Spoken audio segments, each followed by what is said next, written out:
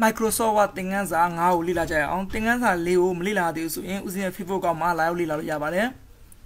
Microsoft က software ဖွင့်မယ်ဒါကဦးဇင်းကြိုတင်ပြီးတော့မြန်လို့ရိုက်ထားတာပါတခါတလေမှာတချို့ဘားရှင်းနေမှာဓာတ်ရိုက်လို့ရှိရင်မပေါ်ပါဘူးအဲ့လိုဓာတ်ရိုက်လို့မပေါ်လို့ရှိရင် file နဲ့ဝင်ပါ file နဲ့ပြီးတော့ option နဲ့ထည့်လိုက်ပါ option တွေကနေပြီးတော့ proofing နဲ့ထပ်ပြီးဝင်လိုက်ပါဒီမှာ auto correct option ဆိုတာရှိတော့အဲ့ဒီကိုတစ်ချက်ကလေးဝင်လိုက်ပါမယ် အဲ့ဒီကမှာဒီအပေါ်မှာ auto format s type ဆိုရှင်နော်အဲ့ဒီတစ်ချက်ကိုလေးပုံလိုက်ပါမယ်ဒီအပေါ်မှာ string code with smart code ဆိုရှင်နော်အဲ့ဒီမှာအမှန်ချစ်ထားတယ်အမှန်ချစ်ထားလို့ရှင် comma အဖွင့်ပိတ်ကုတ်ကလေးတွေရေးတဲ့ခါမှာတော့လှတယ်ဒါပေမဲ့ဒါတို့ရရင်မပေါ်ဘူးဒီမှာအမှန်ချစ်ဖြုတ်ထားရင် comma အဖွင့်ပိတ်ကလေးတော့မလှတော့ဘူးဒါပေမဲ့ဒါတို့ရရင်ပေါ်တယ်ဒါပေမဲ့နောက်တစ်ချုပ် version တွေမှာတော့ဒီမှာအမှန်ချစ်ထားလဲပေါ်ပါတယ်တကယ်လို့ဒါတို့ရိုက်လို့မပေါ်ဘူးဆိုလို့ရှင်ဒီမှာလာပြီးတော့အမှန်ချစ်ဖြုတ်လိုက်ပါဖြုတ်ပြီးတော့နောက်တစ်ခါ auto format ထည့်ပါမယ် auto format ထည့်တဲ့အခါမှာဒီမှာလဲ string code with smart code ဆိုတော့ဒီမှာအမှန်ချစ်တာနော်အဲ့ဒါလေးကိုအမှန်ချစ်ဖြုတ်လိုက်ပါမယ်ဒီနှစ်ခုအမှန်ချစ်ဖြုတ်ပြီး okay နှိပ်လိုက်ပါဒါဆိုရင်ဒါတွေရိုက်လို့ရသွားပါအခု auto correct option နဲ့ထည့်ပါမယ်တခါလေးမှဥစ္စာစာတွေအများကြီးတဲ့အခါမှာတခါတခါမရိုက်ချင်ဘူးเนาะအဲ့အစတစ်လုံးနှလုံးရိုက်တာနဲ့အဲ့ဒီစာကြောင့် auto auto ပေါ်အောင်လုပ်လို့ရပါတယ်အဲ့လိုလုပ်ချင်လို့ရှိရင် auto correct ထဲဝင်ပါ auto correct ဒီမှာ download ဒီထက်ပါเนาะကိုက ဆိုကြပါစို့ဦးစင်း YN လို့နှလုံးရိုက်လိုက်မယ် YN လို့ရိုက်ပြီး space bar တစ်ချက်ပုတ်လိုက်တာ ਨੇ ဒီမှာဘာပေါ်စီခြင်းလဲဦးစင်း YAN GON ရန်ကုန်ရန်ကုန်နောက်က CITY CD ရန်ကုန်မြို့ပေါ့နော်ဒါဆိုဦးစင်းဒီ YN လို့နှလုံးရိုက်လိုက်တာဒီမှာပေါ်တယ်မှာနော်ဒီမှာကိုကဒီမှာညှိုးညင်တဲ့စလုံးဒီဘက်မှာထည့်ဒီဘက်မှာပေါ်ခြင်းတဲ့စလုံးဒီဘက်အကွက်မှာထည့်ထည့်ပြန်ဒီမှာ add ကိုနှိပ်လိုက်နော် add add ကိုနှိပ်လိုက်မယ်ဒီမှာဒီထည့်ဝင်သွားဝင်သွား okay နှိပ်လိုက်ပါဒီမှာ okay နှိပ်ပြီးထွင်မယ်နော်အဲ့ဒါမှာဦးစင်း space bar တစ်ချက်ပေါ်လို့ okay စရိုက်ကြအောင် YN လို့ဦးစင်းနှလုံးရိုက်လိုက်ပြီး space bar တစ်ချက်လို့ရမယ်ဟောရန်ကုန် CD ဆိုတော့ပေါ်နေနော်နောက်က YN ရိုက်ကြည့်မယ် YN ရိုက်ကြည့်မယ် space bar တစ်ချက်ပေါ်ရန်ကုန် CD ပေါ်နေနော်အဲ့ဒီမျိုးတွေကိုဦးစင်းလွယ်ကူလို့ရတယ်နော်တကယ်လို့ဒါကိုပြန်ဖြုတ်ချင်လို့ဆိုရင်လည်း file ထဲဝင်ပါ file ထဲမှာ option တွေကိုထည့်မှာ option တွေကနေ proofing တွေကိုပြောင်းမှာဒီ auto correct option တွေကိုပြောင်းမှာပြန်လဲဝင်လိုက်ပြီးတော့ဒီကွက်ကလေးမှာနော်ဒီ auto correct ဆိုတဲ့ကွက်လေးမှာနော် ဒီမှာဦးစင်းတို့ကတော့ငကိုစလုံးပြန်ရမယ် YN ဆိုစလုံးရရမယ် YN လို့စလုံးရရတဲ့နေရာဒီအောက်မှာ YN ဒီမှာရန်ကုန် city ဆိုတော့ပေါ့နော်အဲ့ဒီဟာကိုပြန်ဖြုတ်ချင်တာဖြစ်တယ်ဒီမှာမင်းအပြာဖြစ်နေချိန်မှာဒီမှာ delete ဆိုရှင်နော်အဲ့ delete ကိုတစ်ချက်လိုက်ပါ okay okay ဒါဆိုရပါပြီဒီမှာဦးစင်း YN လို့ရိုက်ပြန် YN space bar ပို့လိုက်မယ်ဘာမှမပေါ်တော့ဘူးနော်အဲဒီလိုမျိုးစလုံးတွေကိုလွယ်လွယ်ကူကူရိုက်လို့ရပါတယ် ဒီပေါ်မှာဆိုတော့ဒါ quick session 2ပါလို့ခေါ်ပါတယ်ဒီအပေါ်ကွက်ကလေးတွေမှာဆိုရှင်ဒီဘက်ကဟာဒါ save လောက်တာပါဒီဘက်က undo undo ပေါ့နော်နောက်ကဒါလောက်တာဒီဘက်မှာကိုအသုံးလိုတဲ့ဟာလေးတွေကိုဒီပေါ်မှာထည့်ထားလို့ရပါတယ်ဒီဘက်မှာ tweak and outside လေးရှိနော်အဲ့ဒါ check လိုက်ပါမယ်ကဲဒီမှာဥစဉ်တို့ဘာ version ဘာ button ထည့်ခြင်းလဲပေါ့နော်တကယ် open ကိုထည့်ခြင်းဒီမှာ open ကို check လိုက်ပါဟောဒီမှာ open button လေးတစ်ချက်ပေါ်လာပြီနော်ဒါလေးမှာကိုထည့်ခြင်းလားဒီမှာ new ထည့်ထည့်ခြင်းမှာ new ထည့်ပေါ်လာပြီဒါမှမလို့ခြင်းလားလေးဒီမှာအမှတ်ချဖြုတ်ပြီးဒီမှာလုပ်လို့ရတယ်နော် ဒီမှာကြည့်ပါဦးဇင်းတို့ဒီစာရီမှာဒီ font ဆိုတဲ့ word ကလေးကြီး font ဆိုတဲ့ word ကလေးဒီဘက်က launcher လေးကိုတစ်ချက်နေရတဲ့အခါမှာဘာပေါ်ဆို control D လို့ပေါ့လေဒါဆိုရင်ဦးဇင်းတို့ဒီမှာ font ဒီမှာဒီကနေတစ်ချက်ကလေးလိုက်လို့ရှိရင်ဒီမှာဒီ font ဆိုတဲ့ word ကြီးပေါ်လာမှာနော်တကယ်လို့လောလောကူလုံးမှာဆို keyboard ကနေ control နဲ့ D ကိုတွန်းနေလိုက်ပါဒါဆိုရင်ဒီလိုမျိုး font ဆိုတဲ့ dialog ပေါက်ကြီးပေါ်လာပြီနော်ဒါ shortcut လုပ်တယ်လို့ခေါ်ပါတယ်ဒီစလုံးလေးကိုဒီမှာကြည့်လိုက်ပါ ဘယ်ညာညှိကျင်ဆိုတော့ justify ပေါ့နော်သူ့ရဲ့ shortcut က control နဲ့ G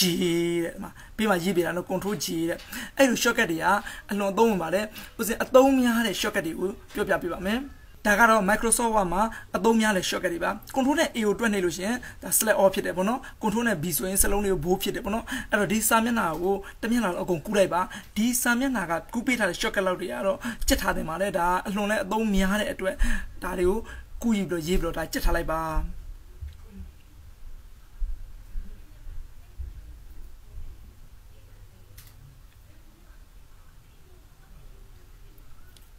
home web နဲ့ပတ်သက်တဲ့ comment တွေအားလုံးကိုရှင်းပြပေးပါပြီဒီ file ကို save လုပ်ပါမယ်ဒီ file ရဲ့ဒီမှာအပေါ်ထိပ်စီးလေးရဥစဉ် note လို့ရေးထားတယ်နော်အဲ notice ဆိုတဲ့စာလေးဒီမှာတစ်ချက်မှတ်ထားမယ်ပြီးတော့ဥစဉ်ဒီ file ကို save လုပ်ဖို့အတွက်ဒီမှာ save photo လေးရှိတယ် control s ပေါ့နော်သူ shortcut ကတော့တစ်ချက်ကလင်းလိုက်ပါမယ်ခုတော့ save s ဆိုတော့ဘောက်ကလေးပေါ်လာနော်ဒီတက်ဥစဉ်တို့ဒီမှာ browse ဆိုတာရှိမယ်ပေါ့နော်အဲ browse လေးကိုတစ်ချက်လိုက်ပါမယ် okay နှိပ်လိုက်ပါ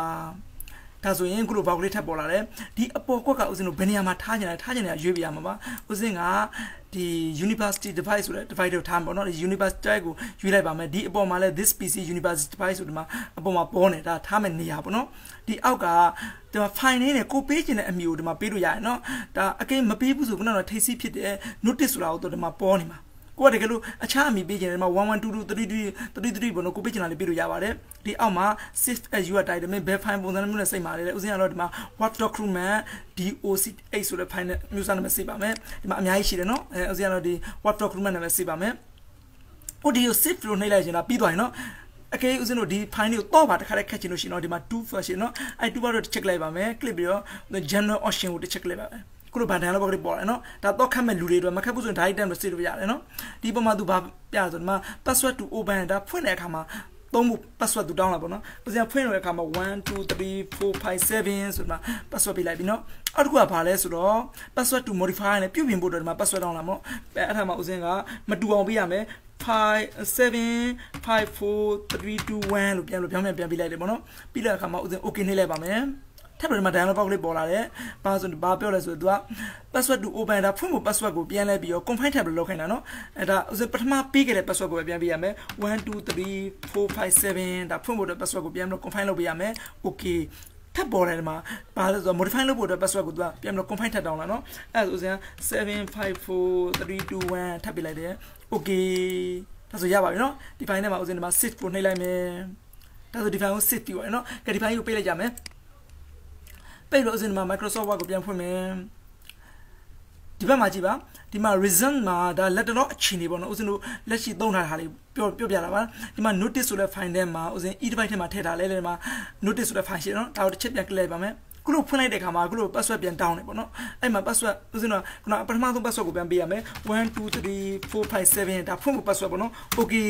ဒီမှာထပ်ပြီးတော့သူတောင်းတယ်နော် ဘာရေးတာဆိုရင် enter password to modify နဲ့ or open reach only တဲ့မင်းဒါကို modify လုပ်မယ်ဆိုရင် modify password ကိုထပ်ပေးတဲ့အဲ့လိုမပေးချင်ဘူးဆိုတော့ဒီမှာအောက်မှာ read only ရှိတယ်အဲ့ဒါကိုတစ်ခါနဲ့နှိပ်လိုက်လို့ရှင်ဒါစာဖတ်ရုံပဲဖတ်လို့ရမှာနော် read only ကိုတစ်ခါချက်နေနိုင်မယ်ဒါဆိုဥစ္စာဘာမှပြုပြင်လို့မရအောင်နော်ဖတ်ရုံပဲဖတ်လို့ရတယ်နော်ဒါကိုပြန်ပေးလိုက်မယ် Microsoft Word ကိုပြန်ဖွင့်မယ် ဒီမှာနောက်ကျွန်တော်ဖိုင်ပြန်ဖွင့်မယ်1 2 3 4 5 7ဒါပထမ password ပေးလိုက်ပြီဒီမှာဦးဇင်းထပ်ပေးမယ်5 7 5 4 3 2 1ဒုတိယ password ပေးလိုက်ပြီနောက်ခုဆုံး password ပေးလိုက်တဲ့ခါမှာဒါကိုပြုပြင်လို့ရသွားပြီပေါ့နော်ဒီမှာကိုဖြတ်ချင်တာဖြတ်ပေါ့နော်ပြုပြင်ချင်တာပြုပြင် အဲ့လိုဦးဇင်းတို့ဖြတ်တာလေးပြုတ်ပြင်တာလေးလုတ်ပြီးတိုင်းလုတ်ပြီးတိုင်း control နဲ့ s ကိုတွတ်တွတ်နေရမယ်ဒါ shift လောက်တာပေါ့နော် control s control s အဲ့လိုတွတ်တွတ်နေရမယ်